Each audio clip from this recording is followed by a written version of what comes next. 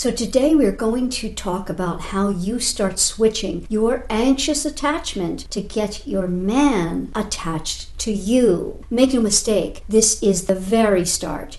It does take work, but when you start, you start to make little incremental steps toward your goal, and that's with any goal. And your goal is A, not to feel anxiously attached to him, and B, to get him to feel very attached to you and give you more of what you want. And most importantly, it's so you do not create what you fear, which is his abandonment. So, who am I to talk about this? Well, I'm Coach Paula Grooms, a dating and relationship coach, licensed social worker, and author of the book, Why Won't He Commit? How a Man Decides to Make You the One.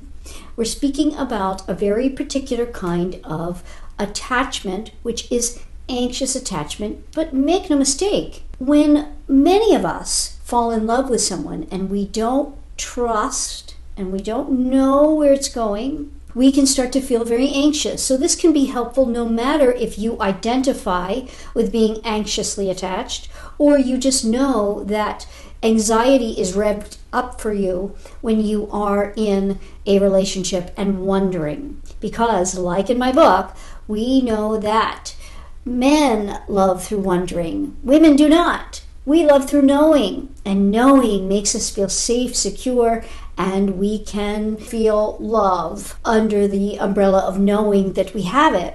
Men, on the other hand, they need to wonder. So we take advantage of this to help you with any anxiety that is created from being in a relationship, which it will. Because if you have any programming from your early childhood, make no mistake about this, from zero to seven, whereby you did not get your needs met in a way that you needed.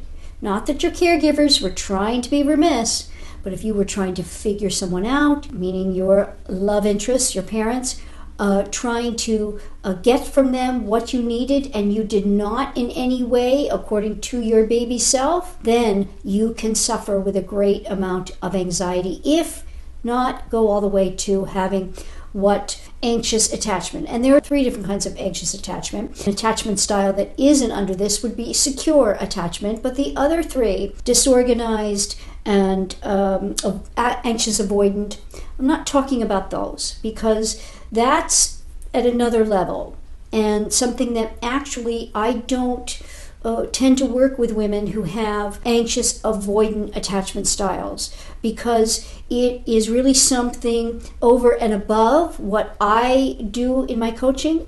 But make no mistake, if it is just anxious attachment that you have, meaning you do not trust that you will be getting your needs met and do not feel worthy of getting those needs met, and I mean in your programming subconsciously. That's all. Because that we have so much power over. We really do. And through a romantic relationship, you can work this out. So I'm going to give you a couple of tips here. This is again just to start because it is a continuation. It is always being mindful of it in a certain way, and especially when you get tweaked, and especially at the beginning of a relationship when it doesn't feel secure to you you want to start by understanding that a man needs to be pursuing you to feel most attached to you and loving you. It's antithetical to how you feel. So when you show restraint and pull back and don't come forward and put your needs onto him, you will get more of them met. He will naturally want to do.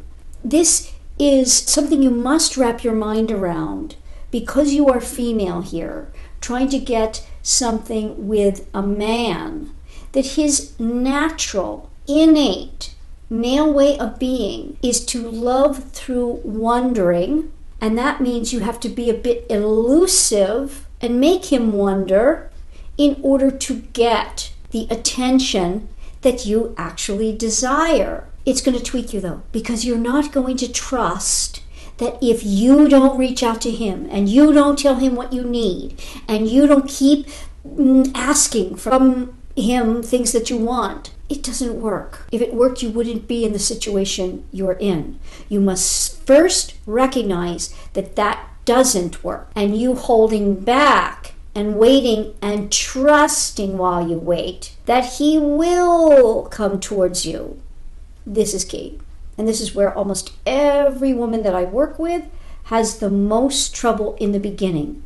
Trusting that you are valued enough that he will be coming towards you again. This is fundamental.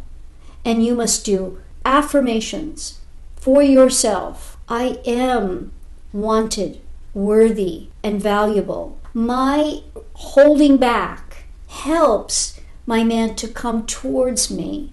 My restraint fosters his attachment to me. You're not going to believe these statements, but if you write them and you continually put them in your mind when you are tweaked, it will get to your subconscious mind. Repetition helps us get to our subconscious mind because you've got to get away from your conscious mind towards your subconscious mind. Your conscious mind, with these affirmations, feeds your subconscious, and that's what you must do. You must do that. That's a little slow train.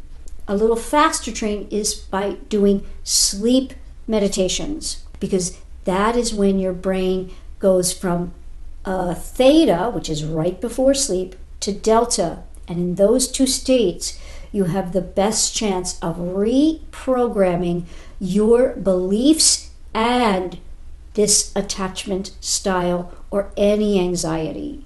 And you can find a lot of sleep affirmations here on YouTube.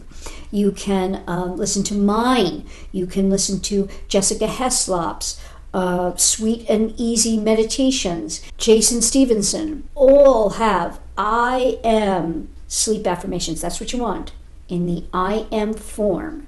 Find them, commit to them, and you can help change this if you restrain yourself from going towards Him when tweaked. And that is a promise you need to make to yourself, and then sit back and say, I trust that He will come towards me when He is ready and most open to being in a back and forth with me, whether that's text, call, or a date. This is such a start. Just take this and run with it. If you need more help, I can help you with this. It is what I do.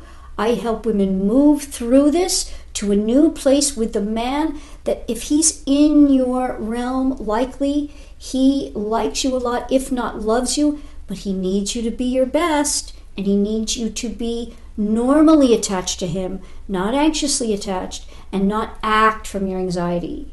So let's get this going. If you need more help, uh, reach out to me. You can DM me here, or you can reach out to my assistant, Michelle, at CoachPaulagrooms.com, or just go to my website, CoachPaulagrooms.com. But get started. Don't let this fester. If you've been working on it and it's not working, you can have this reset and restarted in a very short amount of time when you commit to it and when you start and do the work step by step. I trust you got a lot of good information in this video, and I want you to have more by subscribing and clicking that red alert bell so you don't miss any of my upcoming videos. And if you want even more, there are ways to talk to me. You can talk to me for free on the podcast. You can have a consultation with me. There are several other ways that you can check out by going to CoachPaulagrooms.com. I am available to you. Just go now to CoachPaulagrooms.com for any question to get my book